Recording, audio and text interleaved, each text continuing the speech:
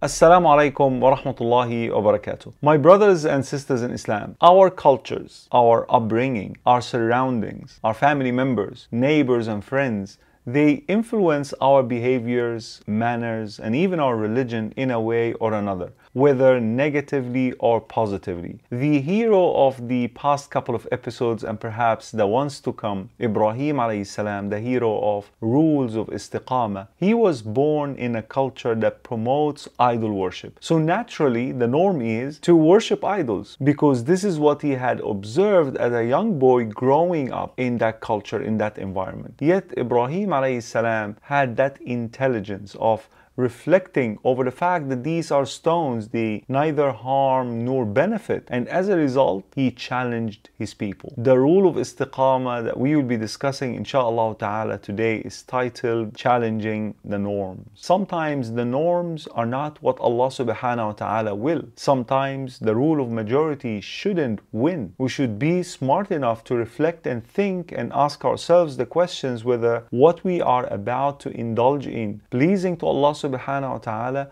or will cause the wrath and the anger of Allah subhanahu wa ta'ala.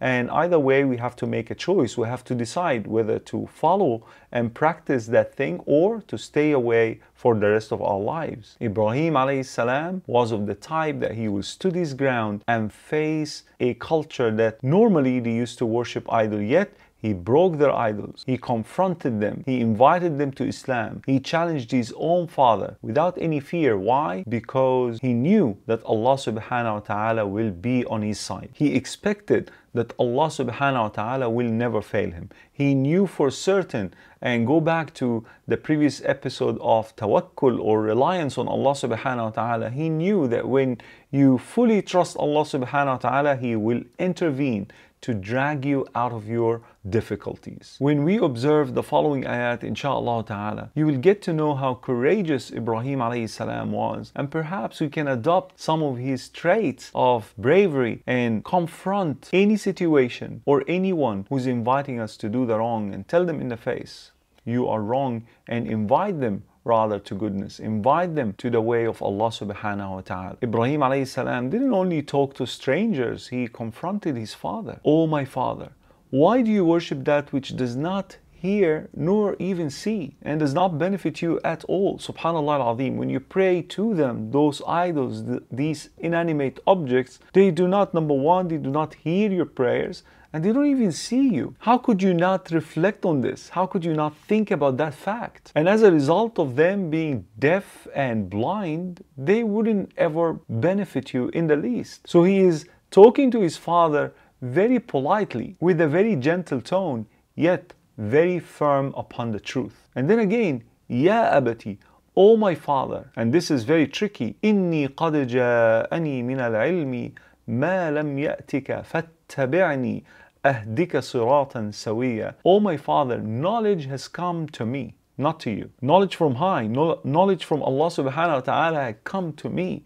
So follow me and I will guide you to a straight path. And this is very difficult. Sometimes I'm, I'm a teacher myself and students will come to me and tell me, how do we teach our parents who grew up culturally on the wrong uh, in terms of practicing the Islam and I tell them it is very hard to, to tackle this matter and you have to be very smart so that you don't hurt their feelings and don't make them feel that you are more knowledgeable than they are and so on. And and as a result sometimes the ego overtakes them especially elders and they reject your teaching. They reject your invitation. But Ibrahim alayhi salam subhanallah was very firm in his approach. Seems like he didn't bother about the reaction. He just wanted to save his father from hellfire. So follow me oh my father follow me and I will guide you to a straight path. And again يا أبتي لا تعبد الشيطان don't ever worship the devil and his father wasn't worshiping the devil right he was worshiping idols but in saying that, he's telling his father indirectly that these are Satan handiworks. This is only how Satan plot against you to worship idols and to stray away from worshiping Allah subhanahu wa ta'ala. Because shaitan كان للرحمن عصيا Shaitan has been always disobedient to Allah subhanahu wa ta'ala. And again, يا أبتي إني أخاف أن يمسك عذاب من الرحمن فتكون للشيطان وليا. I'm so scared, I'm very scared that a punishment will touch you from Allah subhanahu wa ta'ala who's also the most merciful if you obeyed him and if you followed his command. And as a result of your disobedience to Allah subhanahu wa ta'ala, you and the shaitan will be allies to one another. You will assist each other towards evil. Then the father reacted. قال أراغب أنت عن آلهتي يا إبراهيم لئن لم تنته لأرجمنك واهجرني مليا The father reacted very, very strongly, saying, Do you reject my gods, O Ibrahim? If you don't desist, if you don't stop right away, I will surely stone you. So depart away from me now.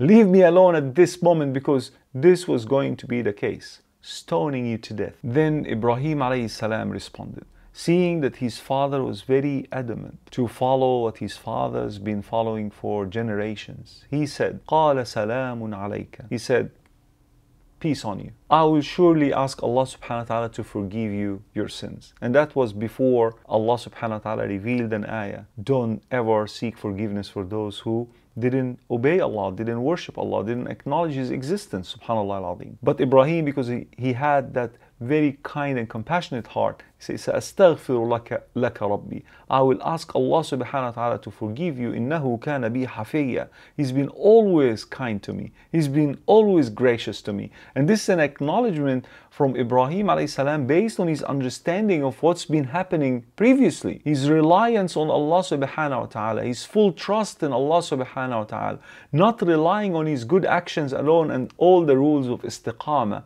that we will be discussing inshallah in the next few episodes. He knew that Allah has been always gracious to him. وَأَعْتَزِلُكُمْ but I will leave you. I will depart from this environment. وَمَا تَدْعُونَ مِن دُونِ اللَّهِ And whatever you are worshipping other than Allah subhanahu wa ta'ala. عَسَى أَلَّا أَكُونَ بِدُعَاءِ رَبِّي شَقِيًّا Perhaps that in my dua to Allah subhanahu wa ta'ala, I will not be unhappy. I expect goodness and best from Allah subhanahu wa ta'ala. And what happened after that? فَلَمَّا اعْتَزَلَهُمْ وَمَا يَعْبُدُونَ مِن دُونِ اللَّهِ وهبنا له إسحاق ويعقوب وكلا جعلنا نبيا When he left them and what they worship beside Allah subhanahu wa ta'ala, Allah gifted Ibrahim alayhi salam with Ishaq and with Yaqub and both of them Allah subhanahu wa ta'ala made prophets to the nations. When you, sta- when you stand firm for the truth, when you speak the truth. And when you confront these challenges and these norms which are against Allah subhanahu wa ta'ala,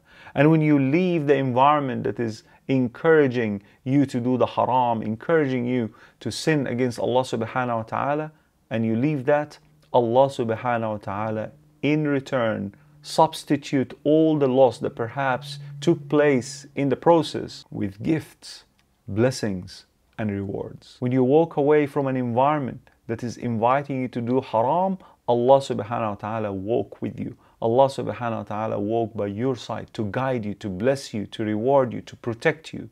But will you stand your ground? Will you challenge the norm when the norm is against Allah subhanahu wa ta'ala? Will you care whether the norm is followed by minority or majority? Because Allah subhanahu wa ta'ala said, وَقَلِيلٌ مِّنْ عِبَادِيَ الشَّكُورِ Very few of my servants are grateful. Will you be among the few or will you go with the majority? The Prophet Muhammad ﷺ said, لا تكونوا إمعة Don't be people of no will, no determination of your own, no decision based on your understanding of what's right and what's wrong. And then he continues, تقولون إن أحسن الناس أحسننا وإن أساءوا أسأنا If the people do good, we will also do good. And if they do bad or evil, we will also follow and do the same thing. So remember, my brothers and sisters in Islam, if you wish to expect the best from Allah subhanahu wa ta'ala, you have to be willing to challenge any norm that goes against the commands of Allah subhanahu wa ta'ala. May Allah bless you all and keep you strong. Jazakumullahu khairan. Assalamu alaikum wa rahmatullahi wa barakatuh.